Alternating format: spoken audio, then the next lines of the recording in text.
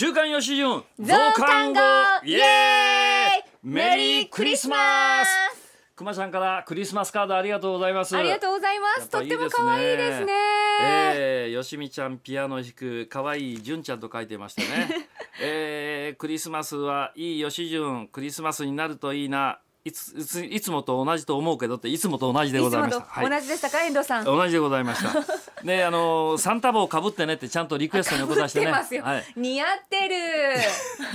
あまり嬉しくないんですけど。あのーはい、これゆいちゃんに借りましたんで。あそ尾形アナウンサー？そうそうそうそう、はい、あの誰か持ってない方ゆいちゃんが持っててね。ね貸してくださいってどうぞお使いください。それも使ってください。これも借りてます。ありがとう。メリークリスマス、えー、まずはエジソンさんでございます。エジソンさんです。はい、えー、前々前回の物部さんのリアクション気に入って、はい、ただ前々前回っていうのがそれが一人歩きして、うん、そうです。あの。えー、アニメのタイトル見たになりましたけれども。まあとにかく物部さんいろんなことありますけれども、はい、もう一言お願いします、うん、今年の締めくくり、うん、カメラ目線で一言どうぞ。皆さんありがとうございます。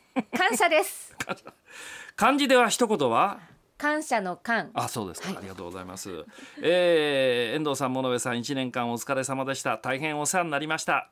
来週来年も楽しみにしています。よろしくお願いします。美濃さんです、はい、最近は増刊号恒例となっている遠藤さん物部さんに対して行う二礼。一、えー、ごめんなさい。二拍手一礼ですねこいつもね、はい、えー、これを見て自分気がついたことがあります。僕も遠藤さんのパンパンに反応して背筋を伸ばしてスマホにお辞儀してるんです。そんな、えー、これは僕だけじゃないと思います。ほらそこのシンドローマあなたもそうですよと書いてます。やっぱりねあの同じようにね、あのそんなパターンがありますよ、うん、それぐらい物部さんの力があるっていうことでございますよね。11月21日、はい、僕が送った赤白歌合戦の投稿ちゃんと選考対象に含まれていますか？届いておりますただね、ね、選ばれるかどうかはね、えー、このあと後日また収録しますけれども、はい、まあなんせたくさん来てるんでね。ボスになる可能性高いです。ご了承くださいませ。すいません。わ、はい、からないです。最後はくまちゃんでございます。いよいよ今年最後の増刊号特番で2時間ぐらいやってください。2時間無理無理。遠藤さん今晩はあシャンパンで乾杯かな。かっこ一人で。ね。ジュディはクリスマスケーキのろうそくをプーって消すんですか？消さないです。